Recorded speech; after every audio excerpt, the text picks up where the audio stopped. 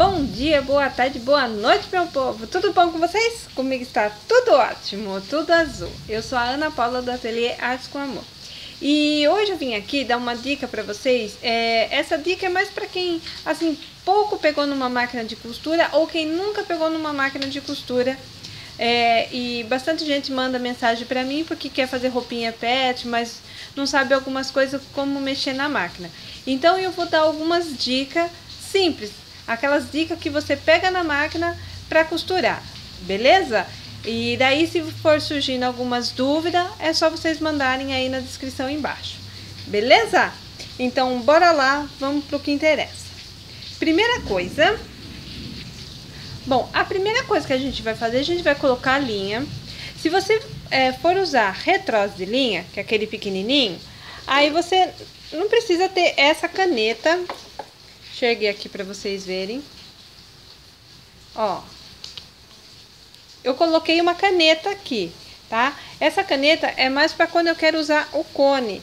Aí ele não fica caindo, né? Porque senão eu tenho que pôr o cone lá no chão e às vezes ele escapa. Então eu coloco ele aqui, que é bem melhor. E dessa maneira dá para vocês bordar com cone, tá? Bordado ponto livre. Beleza? Bom, então a gente vai aprender a costurar. Então aqui você vai é, usar a linha para costurar. Se você vai encher a bobina, então você vai pegar a linha, vai tirar ela, vai passar aqui nesse, nesse negocinho. Todas as máquinas têm, elas te, todas têm indicando e como que vocês vão encher a bobina. Vou pegar a bobina aqui. Bom, para iniciar todas as costuras, você tem que ter linha na bobina. Então, a bobina, ela tem um buraquinho aqui e aqui. Eu passo a, você vai passar a linha aqui.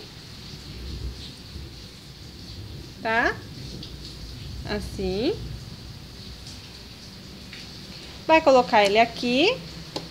Vai puxar ele aqui. Aí a sua máquina, se não for é, haja nome, todas tem como indica que vai encher. Aí qualquer dúvida é só vocês perguntarem, que daí eu vejo a máquina que é e eu mostro pra vocês como que faz. Aí vocês vão segurar um pouquinho aqui. Vai ligar a máquina, de preferência, na tomada. Com a máquina ligada na tomada, vocês vão... Vai enrolar assim. Vai cortar o excesso.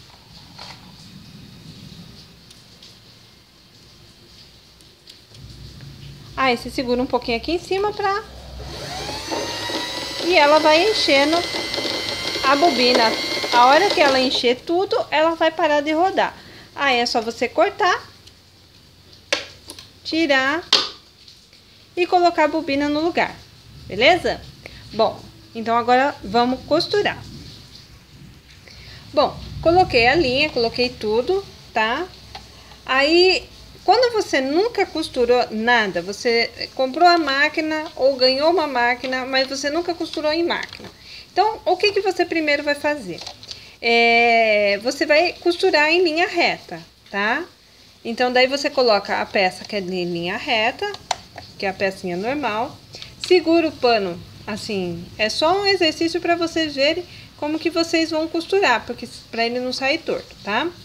Aí você segura o tecido e vai costurando.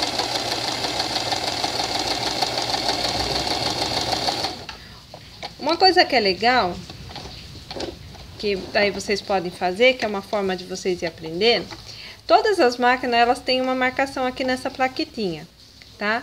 Então, daí vocês colocam o tecido, vamos supor, aqui no 20, tá? Que tá aqui. Aí você procura costurar, vendo essa marcação no 20, que daí a sua costura, ela vai sair certinha, tá?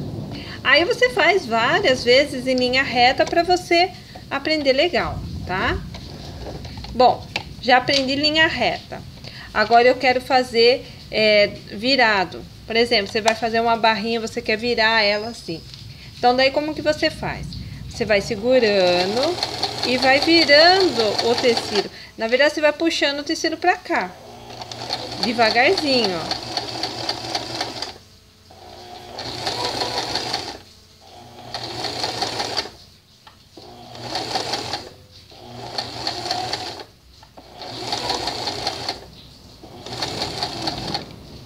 Com a agulha para baixo, você pode levantar, ó. Aí dá uma viradinha. Então, se você conseguiu fazer isso,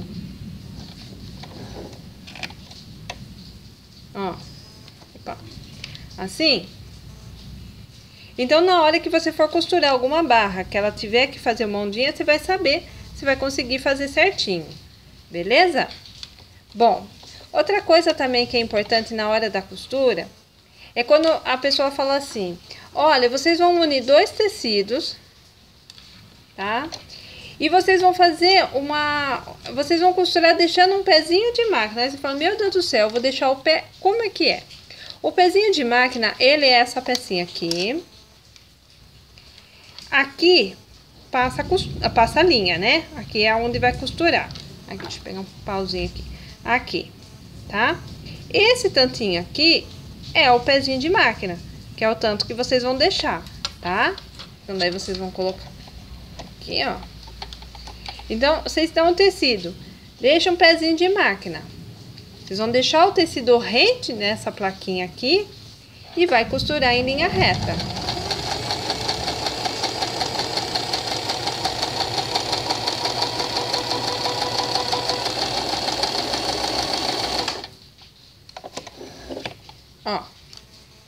Esse é o famoso pezinho de máquina. Aí vocês é, vão ver assim um trabalho. Ah, vocês fazem um acabamentinho aqui. O acabamento vocês vão fazer no zigue-zague, tá? Você pega um tamanho não muito grandão, médio, tá? Aí, nesse risquinho de novo, é onde você vai colocar o tecido, tá? Aqui, ó. Então, o tecido, pôr bem pertinho. O tecido ele vai ficar assim, ó. Tá?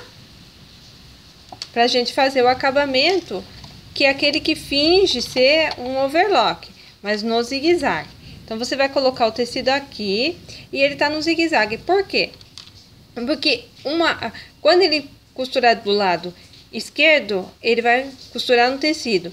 O lado direito, ele vai costurar fora do tecido, que é onde vai fazer aquele acabamento aqui do ladinho que não vai desfiar. Quer ver? Peraí. Pôr no zigue-zague aqui.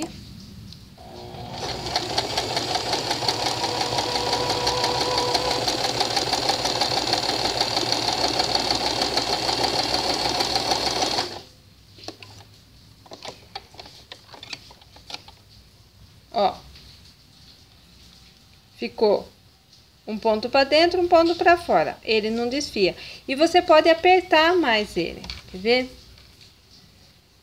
Quanto mais apertadinho, melhor, tá? Vocês diminuem o ponto, deixa mais ou menos no número 1. Um. Põe a linha na, a linha na agulha aqui. Põe o tecido aqui. O ponto apertadinho tá? Você pode fazer grande ou apertadinho, dependendo do tecido, tá? Ó.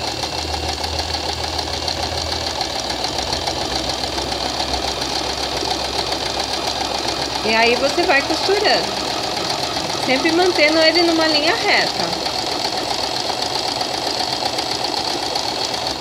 Ó, vou mostrar pra vocês. Olha como que ele fica, tá? Aí o tecido não desfia, porque tá bem apertadinho, ó. Tá? Então, esse é o acabamento que vocês fazem, beleza? Agora eu vou ensinar a vocês a colocarem viés, que é uma coisa que todo mundo não gosta. o viés, é, ele tem duas, é, duas dobras, tá? Tem essa dobrinha aqui e essa dobrinha aqui. Para que, que serve essa dobrinha? Para marcar aonde é que você vai costurar. Então, vamos supor, você vai colocar o viés aqui, né? Nesse tecido. Então, você vai abrir ele e vai costurar aqui dentro. Até coloquei uma linha escura para dar para vocês verem legal. Então, vocês vão fazer ele bem certinho aqui, tá? Para vocês terem uma noção, vocês podem já baixar a agulha aonde é que vocês vão costurar e vão passar a costura reta aqui, ó, ele é aberto. Então, digamos, aqui o tecido é a frente e vocês vão colocar ele aqui assim. Opa, no reto, tá, gente? Não no zigue-zague. Ó.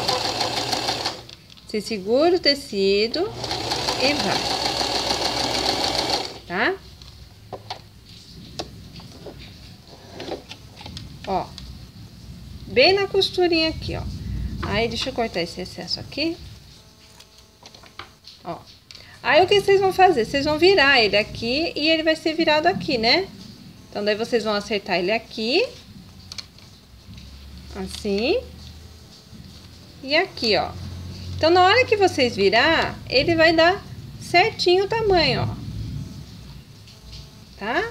Aí, vocês vão passar uma costura.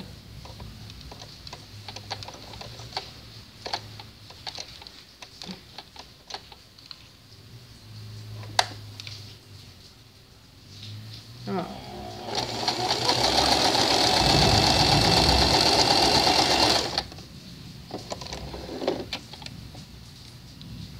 O lado do direito, o lado do avesso. Beleza, gente? Então é esse daqui, são essas dicas. Então, para vocês aprenderem, vocês, vocês treinam linha reta, treina fazer coisas redondas, procure assim, pega um tecido, corte em redondo para fazer barrinha, né? Tipo, por exemplo, aqui assim, ó. Vocês pegam assim, um tecido assim, dobra e vai fazendo barrinha assim, ó. Logicamente que quando é redondo, vocês têm que dar umas... Ele acaba dando umas enrugadinhas, ó. Tá? Ó, e vocês vão fazendo.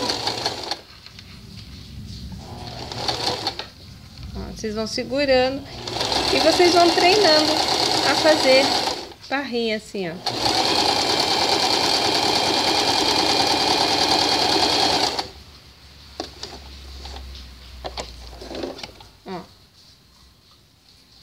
Lado de dentro e o lado de fora.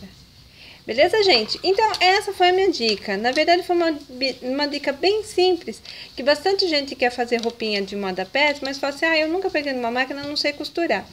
Aí, então, essas são as dicas bem simples. Se vocês tiverem mais algum tipo de, de, de dúvida e que não está conseguindo e quiser deixar anotadinha aí embaixo, eu vejo, daí se eu souber fazer, eu explico para vocês e aí vocês acabam até tirando a dúvida de outras pessoas também.